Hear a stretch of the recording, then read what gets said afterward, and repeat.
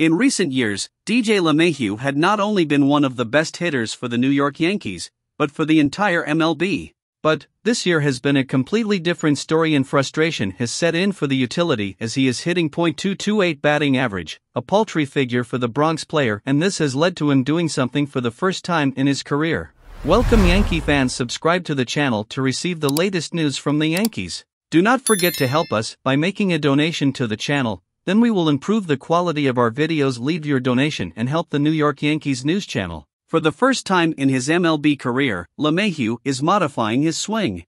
It's one of those things I've never really thought about. I just walk in the batter's box and hit, so don't really think about those things.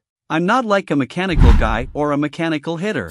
So it's just kind of digging deep. More on the things that have made me good, have made me the hitter that am, LeMahieu said. As his manager at the Yankees, Aaron Boone, put it, it's weird that LeMahieu is having so much trouble at the plate this year. His strikeout rate, 27%, is tied for the 29th highest mark in all of baseball. LeMahieu struck out just 13.2% of the time during his first four seasons in the Pinstripes.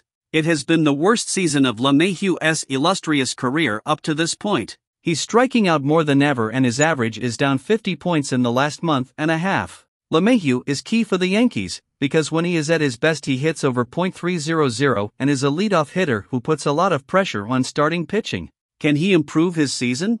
We'll see. He hasn't had an OPS this low, .668 in 62 games, in a single season in nearly a decade. Yankee fans subscribe to the channel to receive the latest news from the Yankees.